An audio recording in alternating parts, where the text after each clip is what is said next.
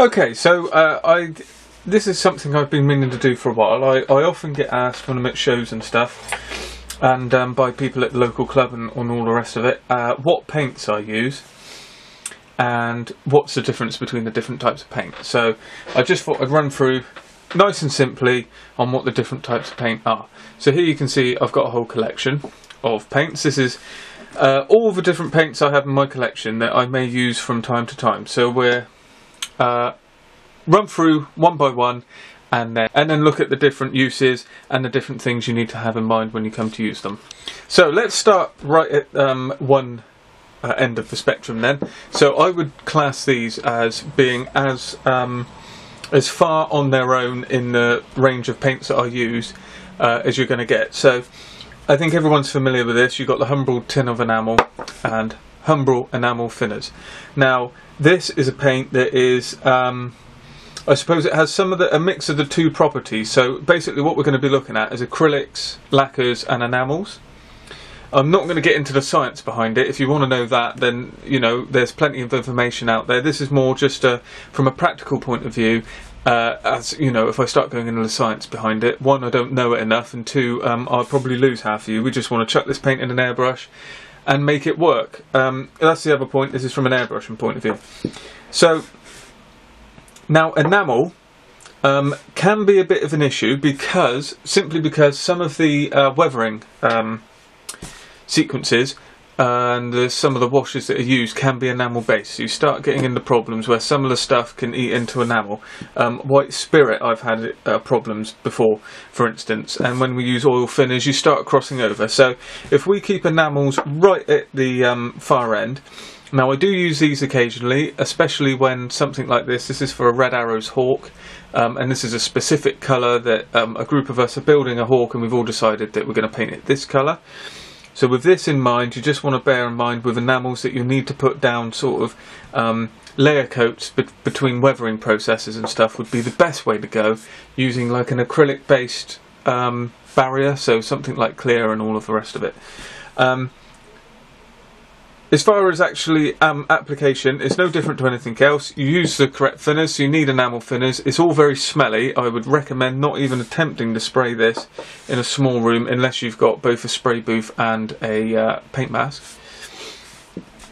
And I've found this to be uh, absolutely fine stuff to go down. It's perfectly uh, no issue. I've used this with enamel thinners. Apart from the smell, um, it go it seems to go down quite wet. Obviously, that depends on how much you thin it, but I find it goes down quite wet looking, and as it dries back, it gives you the same effect as if you were to use like an acrylic paint or a lacquer paint using a self slow uh, self leveling thinner, which is a, a slow setting thinner. It's got a retarder in it. So I find these are very useful. Uh, need to be mixed well. Sometimes even need to be sort of um, not sieved so much, but you need to make sure there's no debris in the in the paint pot because you can easily easily get flakes in there. So I do use these rarely, usually specifically for a reason, and I use Humbrol enamels to go with the Humbrol tin. So that's the first thing. So keeping enamels, if we say enamels are on one far side of the spectrum, uh, let's go to the um, the other side, and that would be proper acrylics. Now, I say proper acrylics, and just to try not to confuse anyone, um, proper acrylics are, i.e., a water based acrylic paint.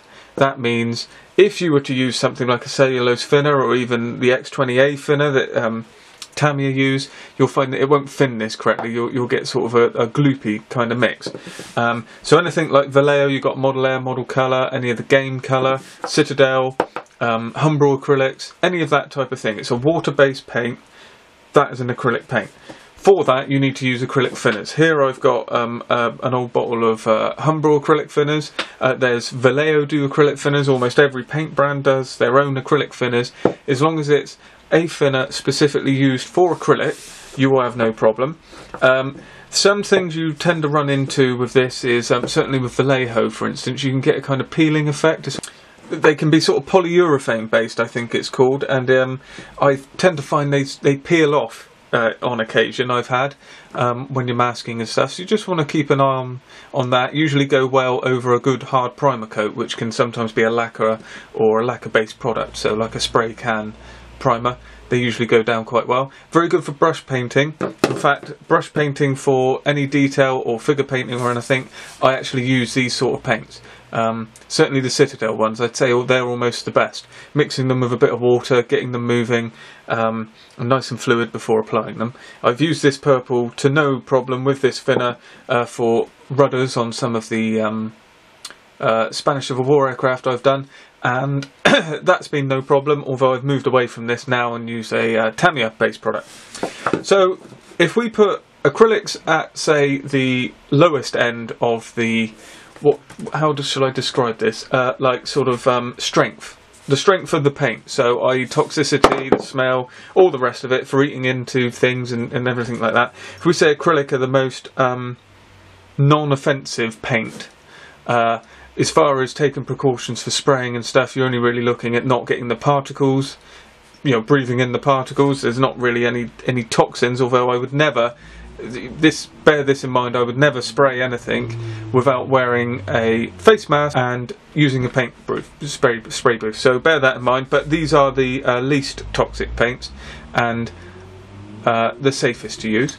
And that's uh, with acrylic thinner. So that's those now we start to get a little bit complicated because we move into lacquer based acrylics and lacquers. So here I've got three pots of paint, which um, I expect all of you are very uh, aware of these paints. You've got Tamiya paints, uh, Mr. Hobby Aqueous, and then Mr. Colour. So let's not complicate things. Let's take Tamiya out of the way at the minute. So let's take the two Mr. Hobby ones that can be confusing in time. These are both made by the same brand. They are two different types of paint.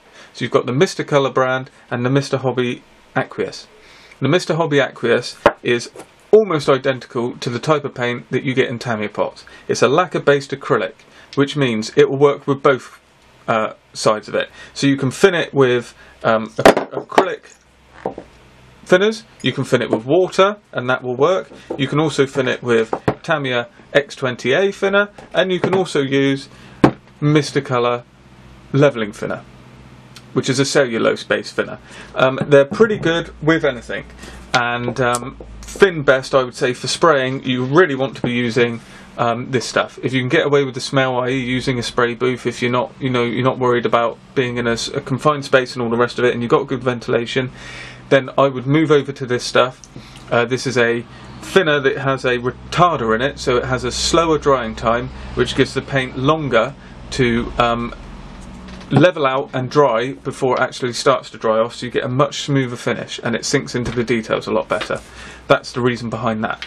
So with that thinner, you can use that in both of these and this.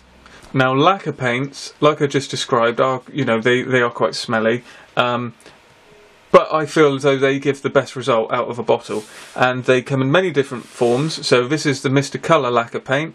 This is MRP, which I use. Probably this is my go-to paint. This is a pre-finned lacquer paint, so it's the same stuff it's just been finned, and um, it seems as though online most people seem to think it's finned pretty much with this or a very similar product, so you get exactly the same effect. Uh, obviously, you've got to bear in mind that you're getting less paint for your pound in here. This is 10 mil, this is 30 mil, but as this is pre-finned, and it, it proves out to be more expensive than these, if you bear that in mind, obviously you could probably thin this and go further than this bottle will finned, if that makes sense.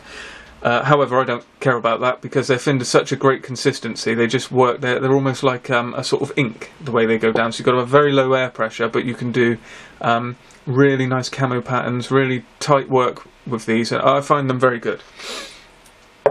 Alclad would be a very similar product. So I would say these are um, uh, lacquer-based metallizers, and um, all of the same thing I would almost describe these two products as the same type of paint. Um, in the sense of when you're working with them, um, all the things that you know about Alclad, like making sure the, the surface is uh, very smooth and you don't have any filler issues and you don't have any uh, rough areas because they show up. The same applies for this. I find that this this shows anything up as well. So you need to be working really cleanly on your building. It has no filler properties or microfilling properties, whereas these, if you mix a bit of a heavier pigmented mix, then it has a microfiller property, therefore it will sort of fill any scratches or um, be a bit more forgiving when it comes to uh, slight blemishes on the uh, model. So just bear that in mind. Then we go into thinners. Oh, uh, one last thing to mention is you'll also see these. Now, these are good sets that a lot of people pick up, but um, just to highlight, if you are working in the um, Hobby Aqueous range and you pick these up, these are actually the lacquer base range in these box sets. So just bear that in mind. For Mr. Colour, that is the lacquer base set. So um, just in case any of you guys have bought these and thought the paint is different, that's because it is. It will be in the Mr. Colour range, so it's a pure lacquer. So just bear that in mind if you're looking at any of these sets. But otherwise, these are extremely good. So this is an interior set for US aircraft. Also got the um, Pacific aircraft set as well, and uh, they're very useful and very good colour matches. Then we go on to thinners. So thinners for the two, um, well, for the any of the lacquer-based paints, you can use either of these. Now I used to use this for cleaning out the airbrush, uh, but I've since realised I'm just, you know, there's no point buying that. Whereas I could just use this for, for both. So I actually clean through the airbrush with this. I know I can do this a lot cheaper. You could go and get hardware store um, cellulose thinner. I just prefer the convenience of it to be honest. So um, I use this. This is about ten pounds a bottle. Lasts me I don't know two or three months, and um, that's perfectly good return for my ten pounds as far as I'm concerned. Um, and this is a thinner with a retarder in it, like I mentioned earlier, which gives you a slower drying time, which gives you a better, smoother finish. Now that's a very good product, and I would um, suggest and advise anyone who's you know pretty confident and capable of spraying paint to move on to this as soon as possible because you'll just get a better finish from the word go. Um, if you're not confident or you can't deal with this, it, oh, that is very potent smelling wise. So bear that in mind. If you can't work with that, because I know a lot of people have issues with uh, partners not liking the smell or, or having children and pets and all the rest of it, or not, you know, not good ventilation, then this is a lot less smellier and a lot less um, potent. And um, this can be picked up anywhere, and this is the acrylic thinner. So this is the X20A, and that's important to have the X20A for the acrylic. And that will thin this, their Tamiya gloss, and um, the, so the XF and the X range. It'll also thin this, which is the Mr. Hobby Aqueous, and I haven't tried it. I've got a feeling it will thin the acrylics, but I wouldn't advise it. I'd, I'd, I'd keep everything separate, like I mentioned. So, just to recap, I would keep your acrylics, all your acrylic range using acrylic thinner, all of your enamel range use enamel thinners, and then all of your lacquer based range, which is all of these here, you can use cellulose based thinners. One point just to uh, make the X20A will not thin the pure lacquer. So there's a bit of a crossover. If you think the X20A applies to the acrylic side of these two acrylic based lacquers, or lacquer based acrylics, and then this applies to both sides of it, then you're not go far wrong. So this will thin all of these here, so you can use this with all of those. You can use this. And you can use this with those. And that's what I use. That is not meant to be a, uh, a exhaustive guide on how to mix and thin paint and airbrush paint and all the rest of it. That is just answering the question of what I use, what I think's best, and um, I found works for me. And like I said, falling back on Tamiya, using Mr. Colour, and then using MRP and Alclads, all mixed with this, is my preferred choice. And I advise, I would, I would encourage anyone to give it a go and see if it works for you as well. If you're not using this Mr. Leveling Thinner here, Mr. Colour Leveling Thinner, then go out and grab some and see if it works for you. You can get it in smaller bottles if you just want to test your, test um, how it works, and I'm certain you will find that it will be absolutely superb for you. So hopefully that helps and answers a few questions.